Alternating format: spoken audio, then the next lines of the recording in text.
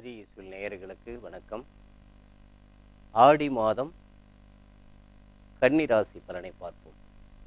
இப்போ உங்களுக்கு கன்னிக்கு பெரிய ஒரு தொந்தரவான ஒரு பெரிய கிரகங்களுடைய தாக்கங்கள் எதுவும் இல்லை. பார்த்தீங்கன்னா கன்னிராசி அப்படின்றதுன்னா ஒரு பெரிய தாக்கங்கள் ஒன்றும் உங்களுக்கு இல்லை.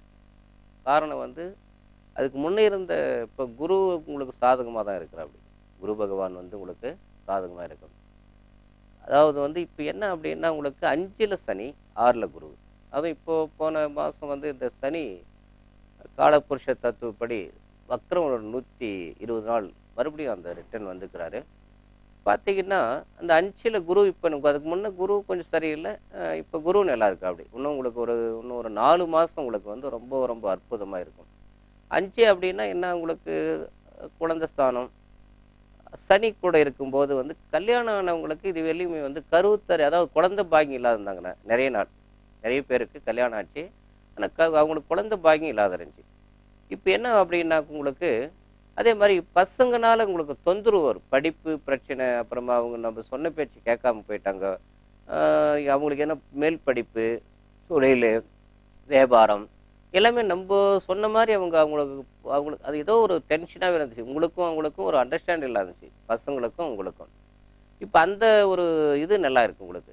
பார்த்தீங்கன்னா இப்போ நீங்கள் சொன்னது என்ன சொன்னாலே அவங்க சரின்னு இப்போ ரொம்ப நாள் வந்து அடம் பிடிச்ச பசங்கள்லாம் கூட இப்போ இந்த மாதத்தில் நீங்கள் சொன்னால் சரி நாங்கள் கேட்குறோம் படிக்கிறோங்க இந்த மாதிரி செய்கிறோம் அப்படின்னு ஏன்னா இப்போ நிறைய அஞ்சாம் இடம் வந்து குழந்தை ஸ்தானத்துலன்னா கல்வி பாதிச்சிருச்சுல ஒரு வருஷமாக யாருக்கும் கல்வி இல்லை. இப்போ அதே ஒரு டென்ஷன் வீட்டில் பசங்க ஒரு ஒரு மனநிலை பாதிக்கப்பட்ட மாதிரி ஏதோ ஒரு தொழில் செல்ல அது இது பண்ணிட்டோம். இப்போ அந்த குரு வந்திருக்கிறதுனால அது ஒரு மாற்றங்கள் வந்துடும் இப்போ அது ஒரு கல்வியும் ஒரு கரெக்டாக ஸ்டார்ட் ஆகிரும் ரெண்டாவது நீங்கள் சொன்னது அவங்க செய்வாங்க காது கொடுத்து கேட்கக்கூடிய நேரம் இது. இப்போ நிறைய வருஷமாக குழந்தை இல்லாதவங்களுக்கு குழந்தை பாக்கியம். திருமண தடை இருந்தவங்களுக்கு நிச்சயமாக கல்யாணம் நடந்துரும் இப்போ. அதே மாதிரி வந்து சொத்து சுகம். இப்போ இதான ஒரு நல்லதை செய்யலாம். உத்தியோகம் நிறைய பிரச்சனை உத்தியோகமே இல்லாதச்சு இப்போ அஞ்சில் குரு மறுபடியும் ரிட்டர்ன் வரும்போது உங்களுக்கு அந்த இன்னொரு நாலு மாதம் உங்களுக்கு அந்த குரு மாற்றங்கள் குருவினால வந்து உங்களுக்கு யோகங்கள் கிடைக்கும். என்ன என்ன யோகம்? அது கல்வி வியாபாரம் தொழில் குடும்பம் திருமணம் புத்திரபாகியம் இந்த மாதிரி வந்து எல்லாமே ஓரளவுக்கு உங்களுக்கு நல்லதே நடக்கும் இப்போ. இப்போ நீங்கள் என்ன செய்யணும்னா அது பஞ்சமி சனினால் பதி இழந்து அவதியாவாள்.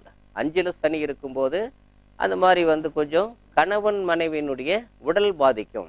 அப்போ நீங்கள் அது கொஞ்சம் உஷாராயிருங்க இது இப்போ மாதம் இந்த மாதம் சொல்லவே தேவையில்லை. எல்லாமே இந்த மாதம் ஆடி பிறந்தாவே எல்லாம் கோயில் குளம் ஆறு இது இதுதான் வேலையே. எதுவும் வந்து புது தொழில் துவங்குறதுக்கு நேரம் இல்லை கல்யாணம் இல்லை இதெல்லாம் இல்லை.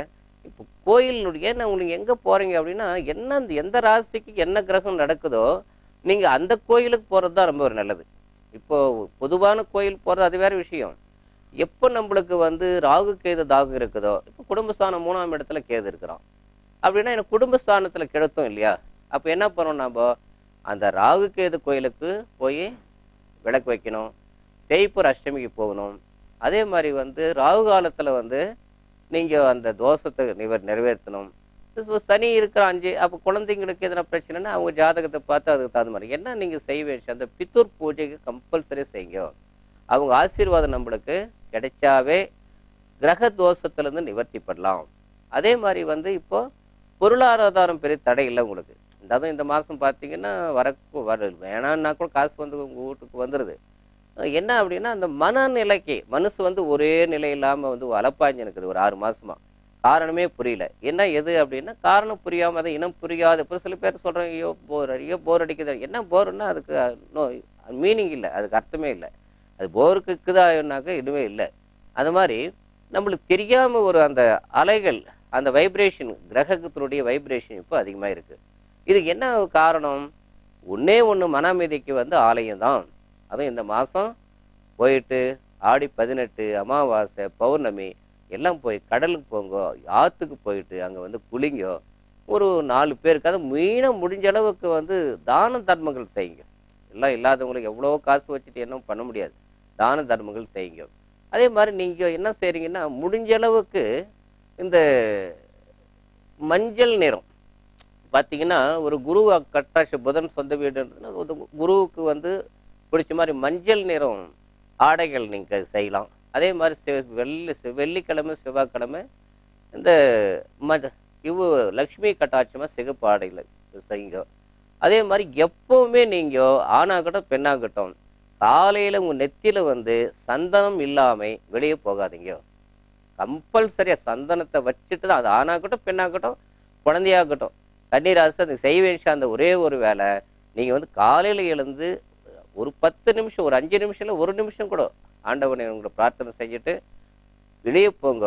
இந்த மாதம் உங்களுக்கு எல்லா வேலையும் உங்களுக்கு வந்து நல்ல ஒரு திருப்தியாக நடக்கும்.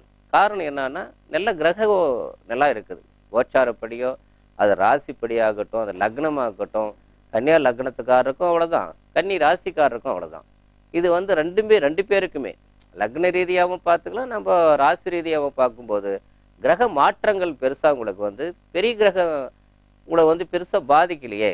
அதனால் கொஞ்சம் நீங்கள் எந்த டென்ஷனும் இல்லாமல் உங்களுக்கு நினைச்ச காரியங்கள் இந்த மாதம் நல்ல முன்னேற்றம் ஏற்படும். நீங்கள் நீ ஒரு ஒரு ஒரு பர்சன்ட் நீங்கள் நினச்சா நூறு பர்சன்ட் உங்களுக்கு முன்னேற்றம் ஏற்படும். அதுக்கு என்ன செய்யணும் நீங்கன்னா கடவுள் பக்தி கடவுள் கடவுள் தான். தானம் தானம் தான். நீதி நீதி தான். இது நீங்கள் நீங்கள் வந்து கடைப்பிடிச்சாவே நீங்கள் வந்து நல்லா இருக்கும். என்னன்னா ஈஸியாக உங்களை சரண்டர் பண்ணக்கூடிய ராசி தானே உங்களை. அதுவும் நீங்கள் பெண்கள் பெண்களாக இருந்தாக்க ஒன்றும் சொல்லவே தேவையில்லை. ரொம்ப ஈஸியாக சரண்டர் ஆகிருங்க நீங்கள் யாரும் இப்போ நல்லா பேசினே அவங்களுக்கு வந்து உளுந்து உளுந்து போயிருக்கு இல்லையா? அது கொஞ்சம் கேர்ஃபுல்லாக இருங்க. ஏன்னா வந்து ரொம்ப ரொம்ப ரொம்ப ஈஸியாக வந்து அதனால தான் வைப்ரேஷன் வந்து இதாக இருக்கிறதுனால தான் பொட்டு வைக்க சொல்கிறது நெத்தியில். உங்களை ஈஸியாக வந்து கவர் பண்ணிடுவாங்க அது பெண்களாக இருந்தால் அதனால் நீங்கள் அந்த இந்த இடத்துல பொட்டு வச்சிங்கன்னாவே அதுங்க அதான் அங்கே மூணாவது கண்ணுன்னு வாங்குது. அங்கே வச்சிட்டீங்க அப்படின்னா உங்களை அவளை வசப்படுத்த முடியாது. அதனால் யாருக்கிட்டையும் ஏமாற முடியாது. காலையில் சந்தனமோ குங்குமோ வச்சுட்டு போங்க. இந்த மாதம் அனைத்து நல்லா நல்ல முன்னேற்றம் ஏற்படும். இந்த மாதம் ஆடி மாதம் கன்னிராசிற்கு நல்ல முன்னேற்றம் ஏற்பட வேண்டும் என்று இறைவனை பிரார்த்தனை செய்கிறோம். நன்றி வணக்கம்.